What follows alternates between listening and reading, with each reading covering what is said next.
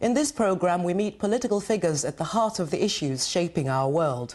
In today's show, I'll be talking to a long-time political activist born under apartheid in South Africa. He has said, the legacy of apartheid is alive and well. The struggle against apartheid, racism, racialism and discrimination has not ended and can never end until a just social order is established.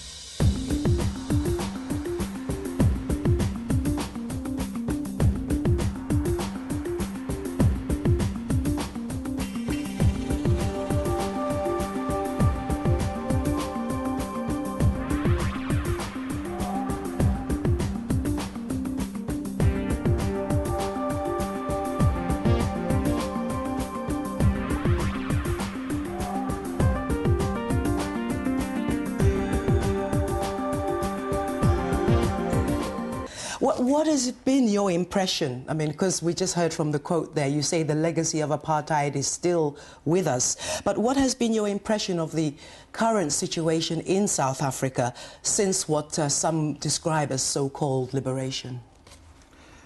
The term so-called liberation, uh, liberation is quite accurate because uh, nobody has been liberated, neither the oppressed people nor the oppressor when you strike a compromise between the oppressor and the oppressed, something has gone wrong.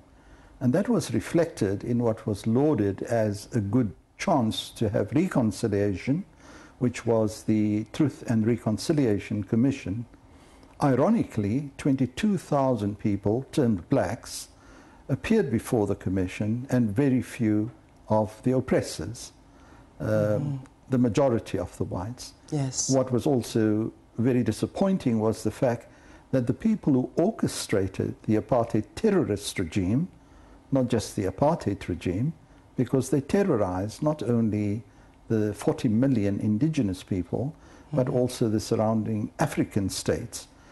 And neither the Broederbond, which was established in 1918 as a secret organization, was subpoenaed by the TRC, mm-hmm. neither the judiciary, your magistrates, judges, and prosecutors who implemented the apartheid laws, nor the multinational companies who benefited the most from apartheid. Mm-hmm. And of course, the politicos like uh, ex President P.W. Botha who what, were responsible would, for these. What would, what would you say, Imam, to people who still see people like Nelson Mandela as heroes and see him as a source of inspiration? Do you feel that he was an integral part of the compromise or was he hoodwinked to a certain degree?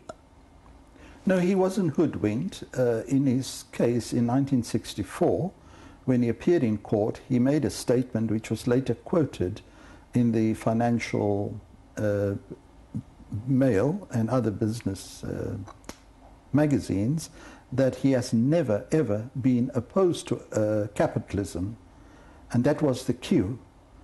So they already started trying to get him on board. So they softened yeah. him up, and that was the reason for removing him from other comrades on the island who were in the Rivonia trial. Um, accidentally, I bumped into the second in command of MK. And That's Umkhonto Wesizwe. Umkhonto Wesizwe. Mm-hmm. And uh, he called me and he mistook me for somebody else, for an MK member, which I've never been.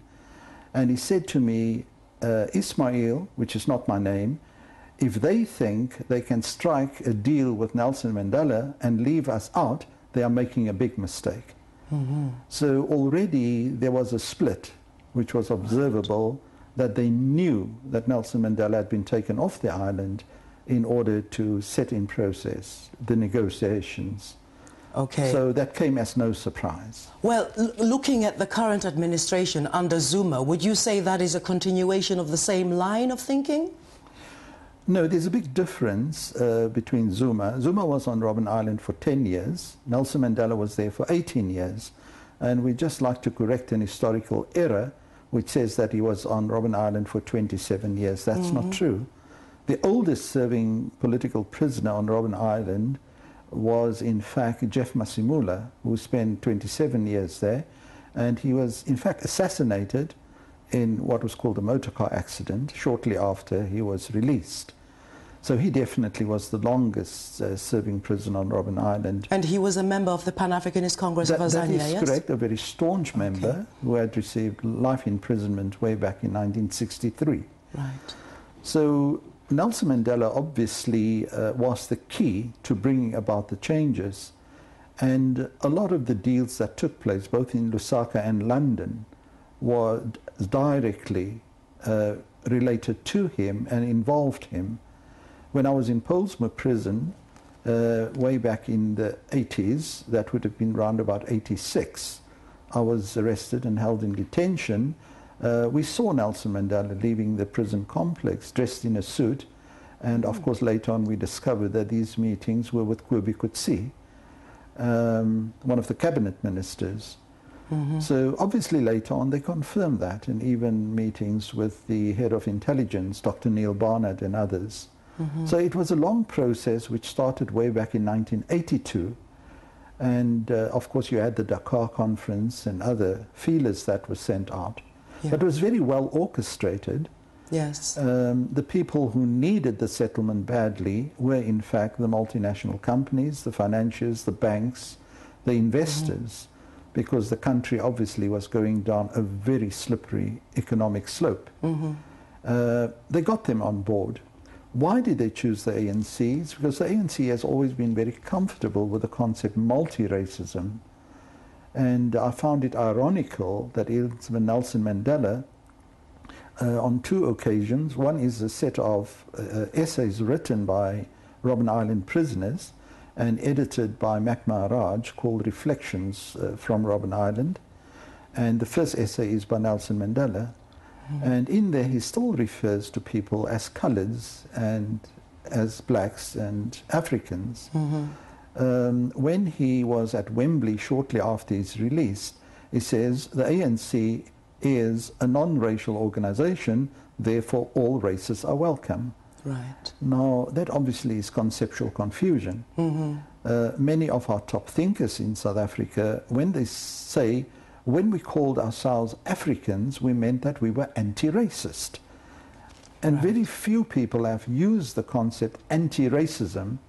We also draw a distinction between racism and racialism.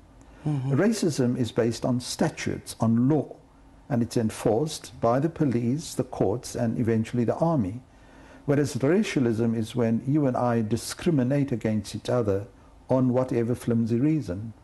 And the fact that it is still very much part of South African life is the BEE, Black Economic Empowerment, and affirmative action, and also the outbreaks of xenophobia just consolidates that particular viewpoint that racism and racialism is alive and well in South Africa.